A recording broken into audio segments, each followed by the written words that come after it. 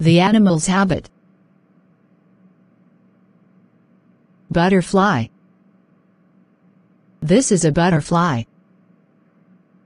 The color is pretty. It flies. Snake. This is a snake.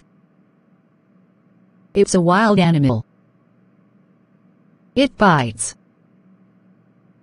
Cat. This is a cat.